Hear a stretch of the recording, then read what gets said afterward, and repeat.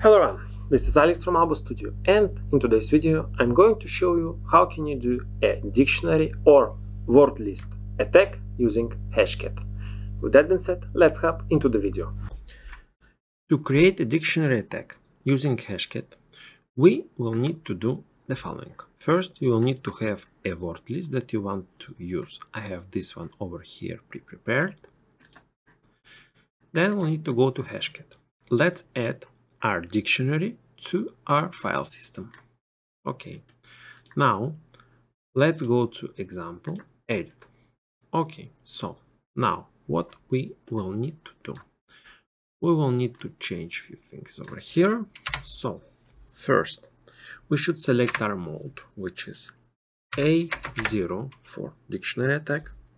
Then we'll need to set our hash type for Bitcoin. It's 11300 then we will need to use our hash. For this test we have our hash in our bitcoin txt so let's type btc.txt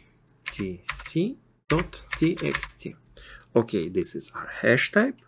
And now our dictionary. Our dictionary is dict.txt then dict.txt txt. Okay, so we are ready. Let's save it. And let's run our command for our dictionary attack. Using dictionary attack, your hashcat will test each word in your dictionary file for compatible hash.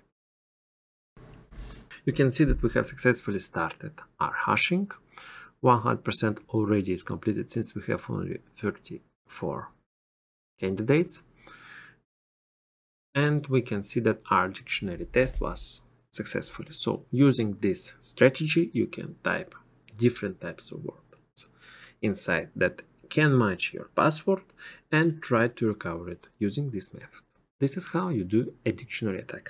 Well, our dictionary attack was successfully created and executed. This was Alex from Albo Studio and if you like this video, hit that thumbs up and subscribe for my channel for similar content.